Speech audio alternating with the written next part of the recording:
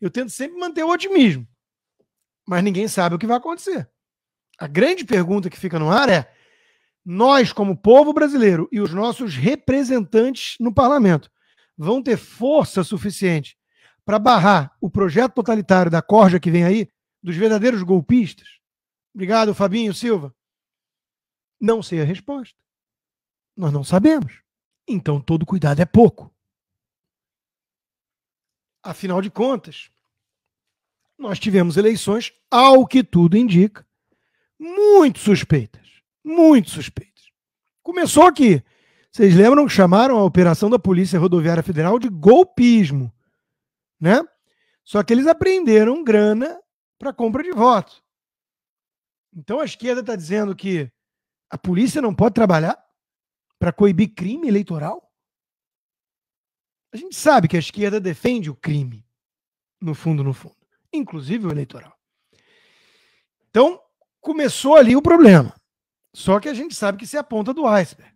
Tem o um processo eleitoral, controlado por alguém que é ex-funcionário do Alckmin, que é vice numa chapa, que persegue Bolsonaro, que censurou veículos de comunicação como Gazeta, Brasil Paralelo e Jovem Pan, que impediu as pessoas de lembrarem quem era Lula.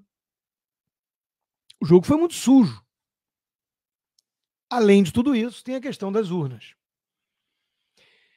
Aí não estão querendo mais que a gente possa questionar, assim como na pandemia, vocês lembram?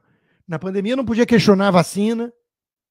Hoje estão vendo que tem alguns problemas ali. Não podia questionar lockdown.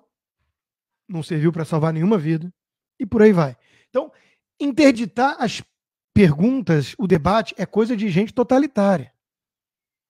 E o Alexandre de Moraes está querendo tratar como criminoso qualquer um que questiona isso. E o YouTube está aderindo à pressão. Não vamos poder questionar o processo eleitoral. O que eu tenho a dizer é que vocês devem ter visto, que está circulando por aí, mais de um estudo independente, científico, estatístico sério, mostrando fortes indícios, para dizer o mínimo, de anomalia no processo eleitoral. Anomalia. Muito obrigado, Iracema. Então, podemos ou não podemos fazer perguntas numa democracia se o cidadão não puder questionar se o pleito ocorreu de maneira fair, se houve lisura no processo? Não é democracia, é ditadura.